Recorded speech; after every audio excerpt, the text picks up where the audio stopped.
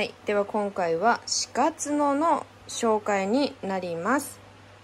まずね家にあるものっていうのはまあ全てにおいて噛まれたくはないですよね。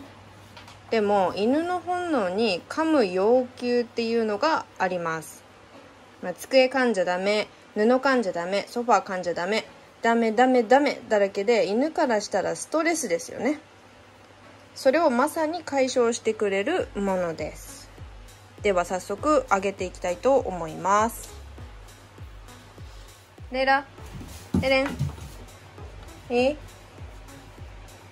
これね今回はこの2つ。いい？レラはい。ご自由にお選びください。どうぞ。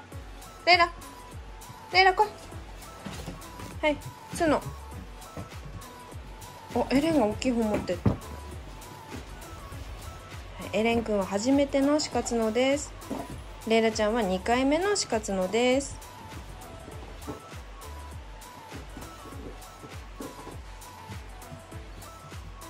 はいレイラは硬くて放棄しました。でこのね2人の様子を見ながらちょっとお話ししたいと思います。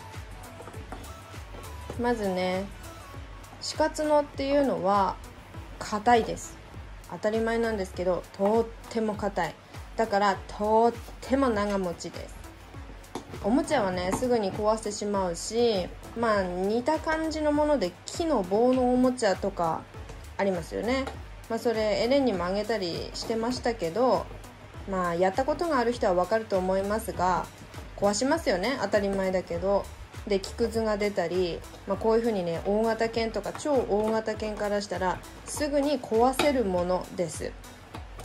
でねこの死活のに関しては1本買えばだいぶ持ってくれます。ちょっとずつしか噛めないのでねバリバリってこう骨とかだとバリバリってなくなっちゃったりはしますけど死活のの場合ちょっとずつ削ることしかできないので長持ちです。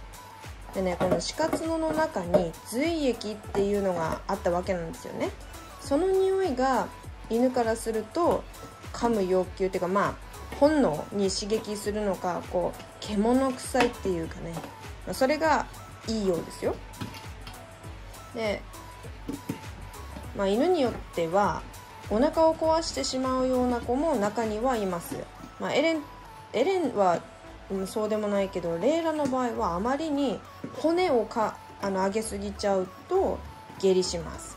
エレンはまだねそこまで大きい骨上げたことないんでまだないですけどね。なので、まあ、この死活のに関しても下痢をしちゃう子が中にはいるらしいので、まあ、様子見ながら与えてください。でまあ一番大きなところだと、まあ、長持ちするっていうのもありますけど、まあ、こうね硬いものをかじるので歯磨き効果っていうのもあります。歯石が取れたりもします。なのでそういう意味合いで使ってもいいと思います。ただ稀にこう歯が欠けちゃう子がいるので長時間あげることはおすすめしません。特に子犬のうちはあの歯が欠けてしまったりあと中の神経が見えてしまうまであのかじり続けちゃう子とかもいたりして一生痛い思いをさせてしまうことがあるので子犬のうちにあげることはしない方がいいと思います。でねあのこっちこっちみたいに角が取られた状態で売ってるものとあっちみたいにまだ角がこうちゃんと残っている状態で売られているものっていうのがあるんですけどこの場合だと最後に角のこの先の部分が残る感じです。まあ大体話聞いてるとね。なのでまあそういう風にちっちゃくなってしまったのを飲み込むとあのー口の喉に刺さってしまったりとかするらしいのでまあ本当に先っちょくらいになったら取り替えることをおすすめします。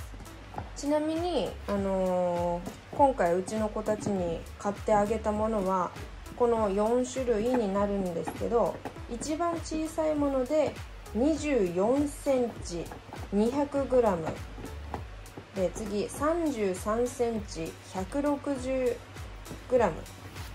で次57センチ480グラム。同じく57センチ490グラムとなっております。今回はね小さいものから先に食べさせていますけど、まあ、将来的には大きい方もあげたいと思っています。でねこの大きいやつ。ここねここの、まあ、今見えないけどこの中心に髄液っていうのがあったみたいですね。ちょエレン。こっちの方がいいね。ちょっと待って。ちっちゃいのまず食べてくださいよ。まあねだいぶリアルな感じですよね。こうやって見ると、えー、頑張ってきたんだな。この鹿さんも。っていう感じでね。まあこの外についてる野生の匂いだったりそのこのちょっと私指使えないんであれですけど中心にあったその髄液っていうものの匂いに反応したりとかでもうだいぶ本当に噛み続けてくれるのでとってもありがたい商品です。